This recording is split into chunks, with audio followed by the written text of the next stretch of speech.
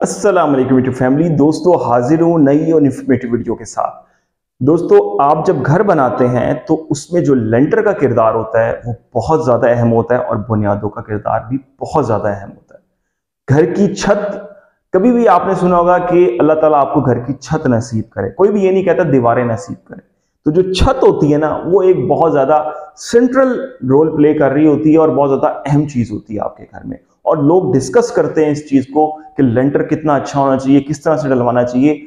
आज की वीडियो इसी हवाले से है। आपको लेंटर चार इंच का, पाँच इंच का, छह इंच का या आठ इंच का डलवाना चाहिए। कौन सा आपको लेंटर डलवाना चाहिए और कौन सा लेंटर किस घर में डलवाना चाहिए, किस लेंटर के क्या फ़ायदे हैं, क्या नुकसान है, आज की वीडियो में तीन चार मिनट में ये चीज़ आपको फौरी तौर पे बताने की मुकम्मल डिटेल के साथ कोशिश करूँगा। सबसे पहले ये कहूँगा, चैनल को सब्सक्राइब आप ज़रूर कर लें, वीडियो को लाइक ज़रूर कर लें, ताकि आपको हमारी ये इन्फॉर्मेटिव वीडियोस जो हम रोज़ाना की बुनियाद पे बनाते हैं, मिलती रहा करें। सबसे पहले दोस्तों, हम यहाँ पर बात कर लेंगे चार इंच मोटाई वाले लेंटर की। दोस्तों, ये लेंटर हमेशा तौर पर जो इन्वेस्टर होते हैं, जो बहुत ही थका हुआ मटेरियल यूज़ करते हैं और अच्छी कंस्ट्रक्शन नहीं करते और घर बनाकर बेचते हैं ये वो लोग यूज़ करते हैं। आपको कभी भी कोई मिस्त्री कहे, आपका कोई ठेकेदार कहे कि जी चार इंच का रख लें, कोई इशू नहीं है रेजिडेंशियल घर है, आपका तीन मरले का पाँच मरले का आपने कहना है सॉरी मैंने ये यूज़ नहीं करना। ये रिकमेंडेड ही नहीं होता। आईएसओ सर्टिफिकेशंस होती हैं कुछ बिल्डिंग्स की और पाकिस्तान बिल्डिंग कंट्रोल अथॉरिटी जो होती है या खैर पाकिस्तान में तो आवे का आवा ही बिगड़ा हुआ इस वजह से तो क्या ही हम बात करें लेकिन जो इंटरनेशनल स्टैंडर्ड्स होते हैं या वैसे भी जो स्टैंडर्ड्स होते हैं चार इंच का लेंटर बहुत ज़्यादा हार्मफुल होता है, नुकसानदेह होता है, आपने इसको कभी भी नहीं रखवाना। इसके बाद हम बात कर लेते हैं पाँच मरले के घर के हवाले से। हाँ अगर आप घर बना रहे हैं तीन मरले, पाँच मरले, आठ मरले, दस मरले, पाँच मरले तो आप पाँच इंच मोटाई वाला लेंटर डालें, उसमें कोई इशू नहीं है, वो बिल्कुल ठीक रहता है, लेकिन चार इंच वाला कभी नहीं आपने डालना। अब इसमें बात आ जाती है पाँच इंच वाला तो ओके है, आप डालें। अच्छा आपका घर है एक केनाल का आपका घर है 25-25 मरले के लोग 30 मरले के बड़े बड़े घर बनाते हैं और उसमें बड़े बड़े हॉल्स हॉल्स होते हैं। तो इसमें आपने क्या करना है?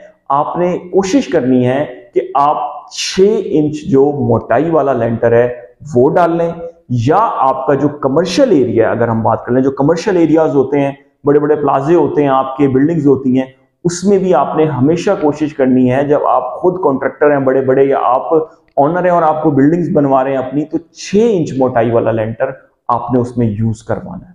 हमेशा इस चीज़ को याद रखें। नॉर्मल एक लेवल जो होता है ना कमर्शियल आपका नॉर्मल एक कमर्शियल लेवल होता है। बहुत हाई राइज बिल्डिंग्स की मैं यहाँ पे बात नहीं कर रहा बीस बीस मंजिला की। नॉर्मल होता है, फ्लैट्स बने हुए होते हैं छोटे छोटे पाँच पाँच मंजिला होते हैं चार चार मंजिला होते हैं, उसमें आप छह इंच मोटाई वाला लेंटर डलवा लें, वो बेहतरीन रहेगा। और घर के लिए अगर आप बनवा रहे हैं तो पाँच इंच मोटाई वाला लेंटर दस मरले, पाँच मरले, पंद्रह मरले के लिए बहुत अच्छा है। अगर आपके पास अच्छे पैसे हैं तो आप केनाल या पच्चीस मरले के जो बड़े विलास बनाते हैं, उसमें अगर आप छह इंच मोटाई वाला डाल लें तो वो भी बहुत ज़्यादा बेहतर है। लेकिन उसमें भी पाँच वाला तो चल सकता है, लेकिन कोशिश कर लें। अच्छा अब हम बात कर लेते हैं हाई राइज जो टावर्स होते हैं आपके खास तौर पर और जो बड़ी बड़ी बिल्डिंग्स होती हैं कमर्शियल आपकी बड़े बड़े मॉल्स होते हैं, उसमें खास तौर पे जो रिकमेंडेड है आईएसओ सर्टिफाइड है, वो है आठ इंच मोटाई वाला लेंटर अब आठ इंच मोटाई वाला लेंटर इसलिए होता है कि उसकी जो छतें होती हैं, उन पर तो वज़न बहुत ज़्यादा होता है और नंबर टू उसमें ये होता है कि आपकी जो सबसे एंड वाली जो छत होती है जिसपे पानी की बड़ी बड़ी टैंकियाँ होती हैं और जो बड़ा बड़ा एक कूलिंग सिस्टम होता है बिल्डिंग का, उसके बड़े बड़े होल्स जो होते हैं बड़े बड़ी मशीनरी होती है, वो छत पे फिक्स करवाई जाती है।